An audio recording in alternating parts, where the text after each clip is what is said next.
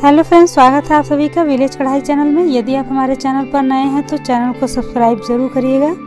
और वीडियो अच्छा लगे तो लाइक करिएगा, शेयर करिएगा और अपने कमेंट में लिखकर ज़रूर भेजिएगा। तो मैं आज एक रेसिपी शेयर करने वाली हूँ, जो बहुत ही हेल्दी है और टेस्टी भी है। गाँव में बहुत ही सब लोग ये बनाते हैं।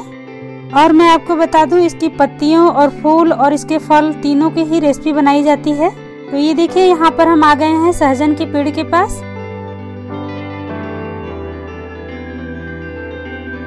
तो हम आज बनाने वाले हैं सहजन के फूल की रेसिपी और हमने सहजन की भी सब्ज़ी बनाई हुई है, उसका वीडियो भी आप देख सकते हैं।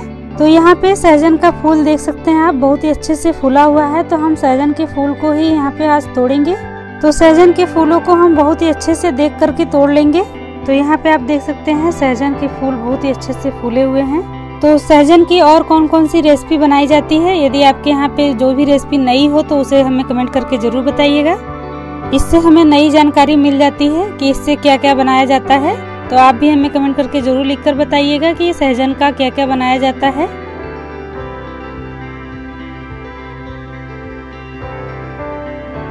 तो यहाँ पे हमने सहजन के फूलों को ज़रूरत के हिसाब से तोड़ लिया है। अब चलते हैं घर की तरफ़।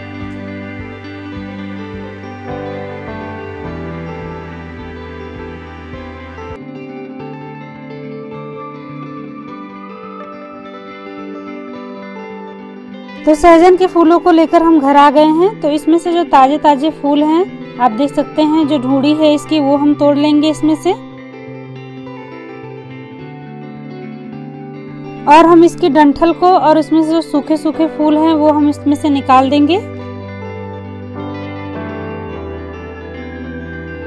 तो इसी तरह से हम फूलों को और इसकी ढूंढी को इसमें से डंठल में से तोड़ करके अलग कर लेंगे।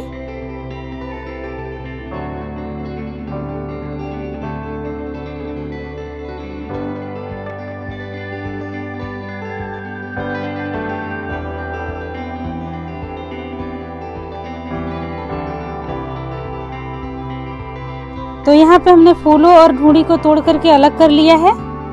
अब हम फूलों को पानी में धो लेते हैं। बहुत ही अच्छे से इसको हम साफ़ कर लेंगे।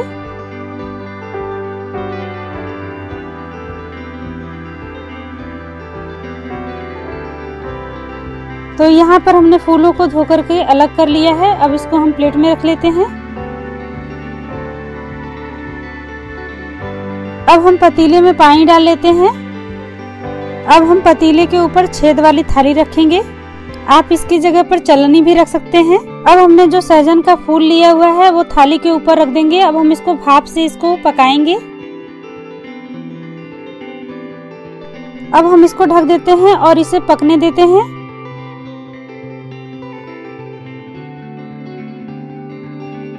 तो चलिए ढक्कन हटाकर देखते हैं। ये देखिए, काफ़ी अच्छे से ये भाप से पक चुका है। आप देख सकते हैं इसका कलर बदल चुका है। तो इसे हमने भाप में पका लिया है, अब थाली को नीचे रख देते हैं। अब हमें इसे दूसरे प्लेट में निकाल लेना है और ठंडा होने देना है।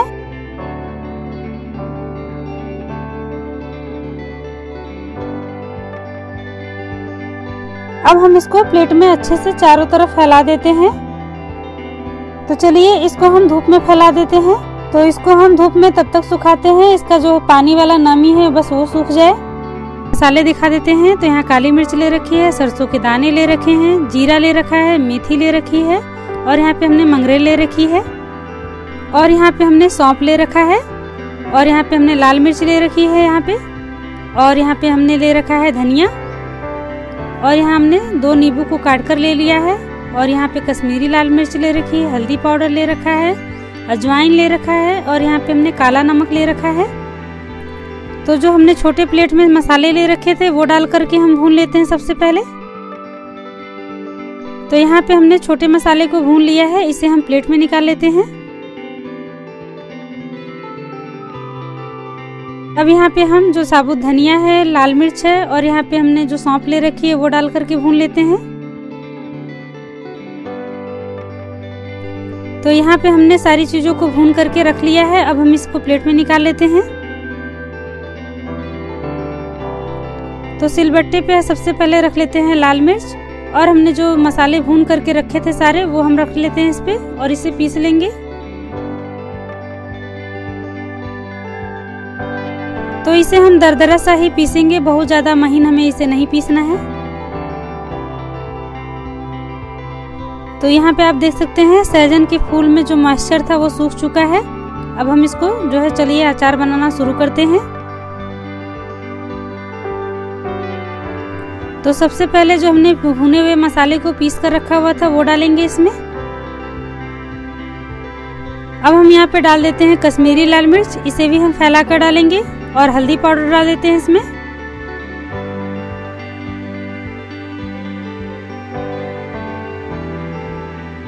अब हम यहाँ पे डाल देते हैं काला नमक और इसमें डाल देते हैं हम सादा नमक। सादा नमक हम थोड़ा सा ज़्यादा डालेंगे ताकि अचार हमारा काफ़ी दिन तक चले। तो अब हम इसमें डाल देते हैं नींबू का रस। तो नींबू का रस यहाँ पे मैंने दो लिया हुआ है, वो डाल देते हैं। इसकी जगह पे आप सिरका भी डाल सकते हैं।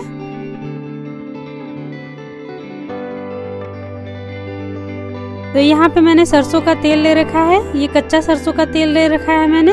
आप चाहे तो इसे गर्म करके भी ले सकते हैं तो इसे डाल देते हैं हम यहाँ पे। तो यहाँ पे मैं दो ढक्कन यहाँ पे डाल रही हूँ सरसों का तेल, यानी दो बड़े चम्मच यहाँ पे सरसों का तेल मैंने यहाँ पे डाला है। अब हम सारी चीज़ों को मिला लेते हैं।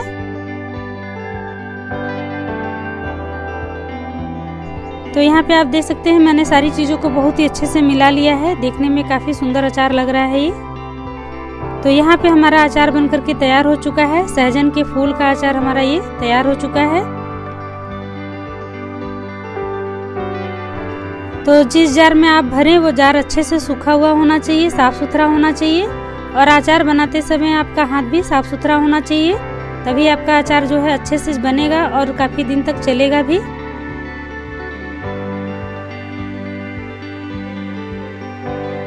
तो अचार को हमने भर लिया है, अब इसका हम ढक्कन लगा कर रख देते हैं।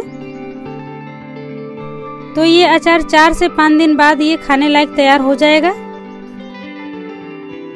तो हमारा ये वीडियो आपको कैसा लगा, हमें कमेंट करके ज़रूर बताइएगा। और अपने परिवार का ध्यान रखिएगा। मिलते हैं अगले वीडियो में। धन्यवाद।